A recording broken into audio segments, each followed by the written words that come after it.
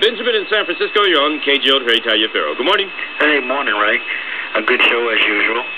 Listen, um, I wanted to agree with you that your mother is one in a thousand. Um, I have a child that's over at Mission High School and one over at Everett, and um, I record. Uh, normally, record your show and listen it to it uh, to it during the day. And you know, my child has seen guns in the school, he's also on a, a dispute resolution team. Mm-hmm. And I've been rebuked by him for listening to your show. Uh, he hears your arguing and your bullying that you do with people who don't agree with you. Then he comes to me and tells me, well, you know, there's people in the school, you know, when there's a, when there's a fight or a discussion or an argument, you know, things get uh, accelerated really quick and and and emotions run high and stuff. And uh, he's amazed when I listen to you. Um, when you start beating up on people and when you uh, come across people that don't agree with you, and you belittle them, you insult them, and he, you know, he said, you know, if, if he was in school at, at, at over at Mission, and you talk like that face to face with somebody, either there'd be a fight, a knife pulled out, or a gun pulled out. Oh, absolutely. And I wouldn't do it. But but but the problem is, you do it on the air. That's exactly right. And you know why?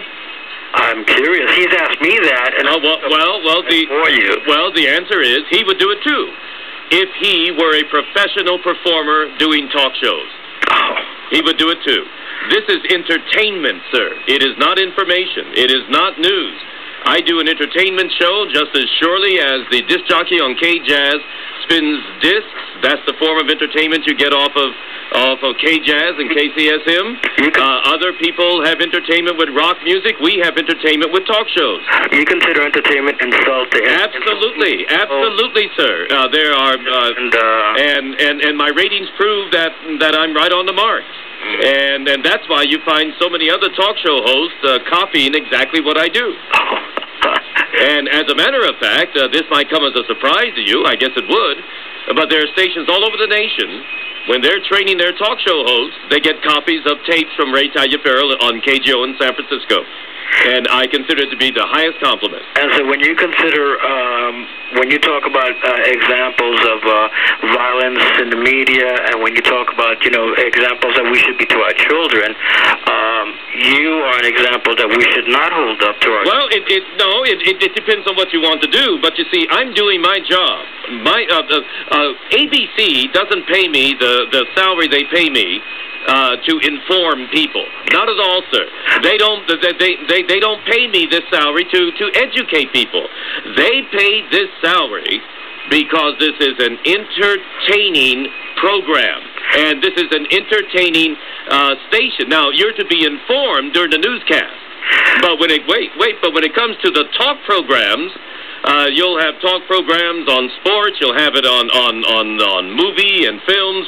Uh, you'll have it on on news talk, where we make it as lively and, and as entertaining as possible. And, and and and listen to me. Wait, wait. Let me finish. I've been listening. Okay, I know, but listen some more. Uh, and uh, and the fact of the matter is, Ray Taliaferro has found a way to keep people awake, and as a consequence to that, the ratings that I have here in the middle of the night on the west coast of the country are the highest ratings on any talk show ever, ever, sir, ever.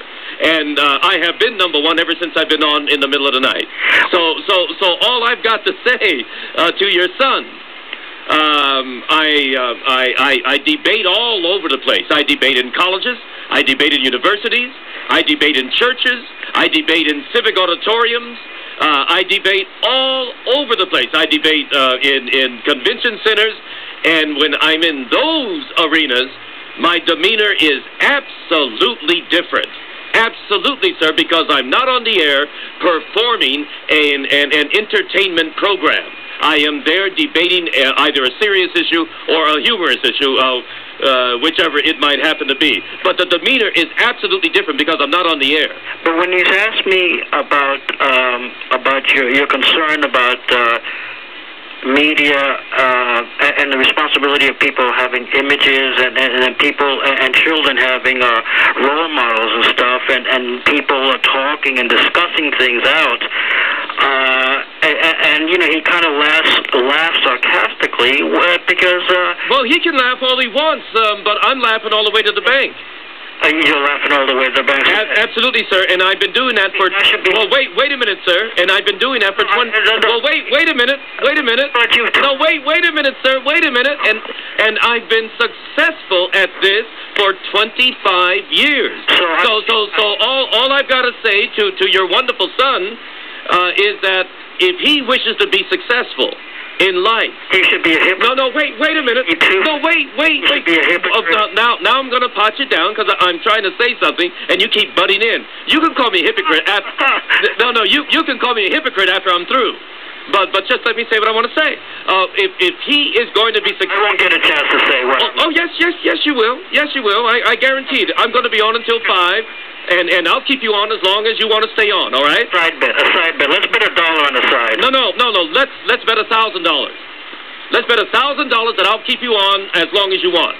Uh, you can afford a thousand. That's right. That's right. That's right. Because I have learned how to do my job.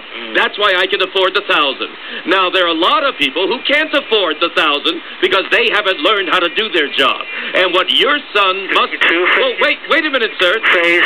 Wait a minute, sir. What your son must learn from you is that whatever task he decides to, to, to undertake, that he should do it with his fullest capability And and, and, and understand pre, and under and understand precisely what it is he's about. Now, when I got into broadcasting, I, I have to tell you, I was asked in 1967 uh, by the president of a broadcasting company here in the Bay Area uh, to do a talk show, and I did. And uh, and at first, I um, I thought, oh boy, what an opportunity! I'm going to be able to save the world, and I'm going to be able to get up and do this and do that and do that and the other. I quickly learned that saving the world was not the name of the game. But I also learned, I also learned that I could pick and choose the issues, and while I'm presenting it in what obviously is an entertaining way. I can also throw out bits and pieces of information. And so the, the course of the last 25 years, a quarter of a century, of my being on the air has been exactly that. And I'm extremely proud. Uh, I've been on the air that long. Not that many people stay on the air that long. This is a very summary business, S-U-M-M-A-R-Y. Very few people last on the air more than 36 months. But very few of us have been on the air as long as I have, and hardly, you know, uh, very few people have the ratings I have. So, so, so in, instead of sitting there and trying to, to, to make snide remarks and what have you, right. you, you have to consider the milieu in which this is done. Right. I, I hope that the profession that you're in, whatever it is, uh, is, uh, is the profession that you uh, are involved with Ray, to the fullest extent of your capability to do so, Right. as I am. Now, now you can go ahead. thanks. Listen, uh, I'm successful in my business, and I, after half an hour, uh, we spent quite a, quite a, a few uh, moments uh, arguing, my son and I, about uh, certain things that you said on our show. Oh well, sir, I, uh, don't go over that again. Let me finish my. No, don't don't go over that again. I I, I I I already answered that, so move on to something else. The bottom line, the bottom line I told him was, we realized that we've been talking about Ray Taliaferro for half an hour, which means that he mu- eh, that he has us talking. He has us Absolutely, The absolutely. bottom line is, the bottom line is that whatever he's doing, whether uh, whether he's right or wrong, and he was on the uh, on the side uh, you were uh, wrong, and I was kind of hemming and hawing. I told him, hey, uh, no matter what you think of him, um, he's had us uh, arguing for the Absolutely. hour. Absolutely. And to me, that is wonderful. You don't have to agree with me, Oh, and uh, no one has to agree with me. Not your lovely little son, not you, not anybody.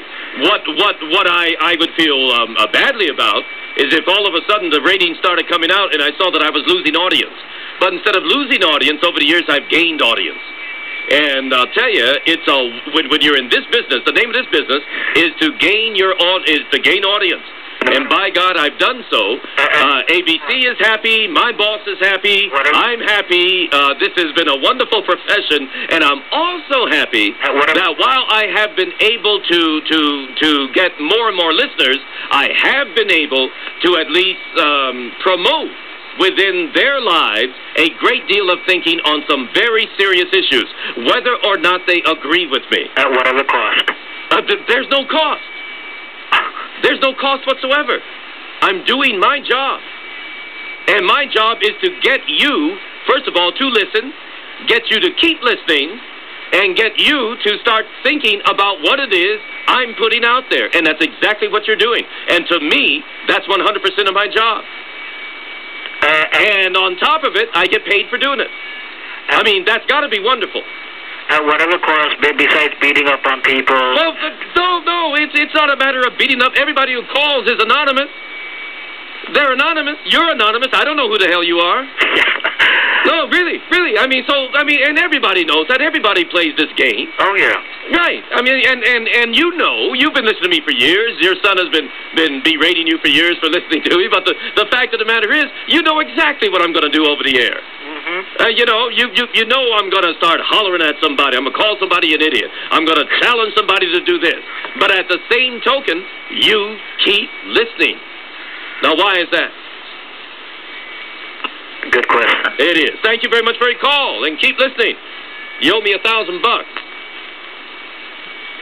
Have a line open in San Francisco at 441 TALK. I'll be damned if I'm going to sit up here in the middle of the night and just. Now, ladies and gentlemen, this is the Ray Taliaferro program. And uh, we're going to talk about something extremely exciting here. And uh, just give me an ear. Give, give a little listen here. Uh, and uh, when you feel like calling in, why, just simply call in and and we'll discuss what needs to be discussed. Here we are in the middle of the night on the waterfront in the ABC Broadcast Center in downtown San Francisco. And uh, it's a wonderful thing, and I have this full richness of a deep voice. And uh, I am going to um, use this voice uh, to just soothe and to, to, to. Oh, the hell with that. No, no, no, no, no, no, no. Folks, I'm going to return in just a moment. KGO News Talk time is 2.50 in the morning. And uh, let's go to uh, Kay in the beautiful town of Windsor. How are you this morning, Kay? I'm pretty good, and you're excellent this morning, Ray. Well, thank you Uh, very much. George, your last retort, uh, uh, explicitly. Uh, but I'm one of those inept gun nuts. Oh, no. oh, yes. Uh, I don't No. believe that there should be a total control on guns because I don't believe the government should have the only gun to kill us with. Well, uh, as long as... Uh, That's, that's my own. Well, you're certainly entitled to your opinion. I see no reason to raise any kind of point of opposition. I'll just let that settle in over the ears and the minds and the souls of the people listening this morning. It's great to hear from you, Kay. my first time, and I, I truly enjoy you. Yeah, well, thank you so much. I've enjoyed this little bit of discourse that we've allowed ourselves to engage in. Three, it was three fifty and not two fifty. Yeah, I see. I'm glad your your employer uh, overlooks those two. Well, no, no, no. That that isn't what he overlooks. The Yeah, fact I- is, no, no. My point is, he's he's asleep. no, you're excellent enough to. to Listen, uh, uh, thank you very, very much for your call, Kay. It's always good to hear from someone so intelligent, warm, wonderful. You're probably even sensuous. oh, thank you. well, thank you so much. It's been a lot of fun opposing your position. And let's go to Janet. Janet in the wonderful metropolitan community of Newark, California. How are you, Janet? How are you? Oh, I, I, I couldn't be better, but it is so decent of you to inquire. Well, I'll tell you, Ray. I called in. I'm pretty. I'm a pretty uh, uh, person who's always uh, serious about things. Now, I would like to say that I'm thoroughly disgusted that the government doesn't put metal detectors in the schools because they could stop the children from having guns by having metal detectors at the doors that the kids go into. Are you oh, are you expressing an opinion, Janet, that uh, children should not be carrying guns to school? Correct. Uh, why? Why? Why is that? Why would you want to limit the freedom of young people? Well, that's another thing. Um, uh, the last I heard was they claim that uh, they can't do that because children have rights. You know. Uh, you honestly believe that children have the right to carry AK-47s into uh, the junior high schools? I don't think they have a right to carry guns or knives into a school. Well, if if if I, if I might be so bold, I don't wish to shock you, but uh, I would like to express uh, an element of agreement with your sentiment. I think that you are right on the mark with that. Uh, I, I I hate to be so forthright in in the expression of an opinion here on KGO, but I greatly appreciate your call. Children should not take guns to school. What do you think, uh, those of you mothers and fathers in the audience? Do you think that that's a legitimate position to hold? Do you think that children um, uh, perhaps should ha- have uh, a little more say in whether or not they take machine guns to school? Cute little darlings though they are. Uh, boy, this is getting sickening. Uh, Greg in Daly City, you're on KGO with Ray Taliaferro. How are you, Greg? Real good. How are you, Ray? Just fine, thank you. I'm a very recent listener for about the last six months, and I can say that I don't always agree with you. I scream at you on the radio, I yell at you, but you had a really good point with your last caller. Um, granted, what you do, and you do it the best when you go to work, that's what makes everything count. I mean, you that is what counts, actually. Exactly. I mean, I scream at you, and, and I'm a gun lover too. Mm-hmm. But you do what you're you're paid to do, and you do keep me awake, and you keep me interested. I never turn you off. No. Keep up the good. Well, work. thank you very much for your call. See now, folks. Now, what do I say? What do I say? Of course, that's the case. You know, I have found that in uh, life, in fact, in, in everything that I do in life, I follow this little creed, and you get out of it what you put into it really. Meaning that if you, for example, here on the air, if you put a lot of energy into what you um, uh, put out, you're going to get a lot of energy coming back in. And that energy in and of itself is something that uh, it's totally intangible, but by God, is it a force? And you uh, you can feel it, even though it's intangible, even though it's it, it it's just a, a a state of thinking uh, in the exchange of, uh, uh, you can call it karma or whatever you want. But the fact of the matter is, um, uh, I have long since learned that you get back uh, what you put out.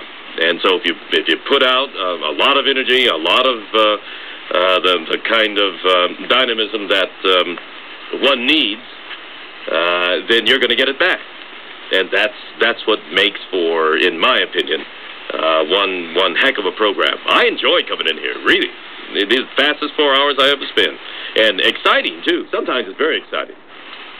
Sometimes more exciting than other times, obviously, but uh, it, it's very exciting because I know that there are thousands and thousands of people. I mean, we we speak to um, li- literally millions of people here in the middle of the night. Uh, in, in other words, millions have the opportunity to tune in. Uh, and since I do have a large audience, uh, there are thousands of you all over the place who know a lot about a lot of things.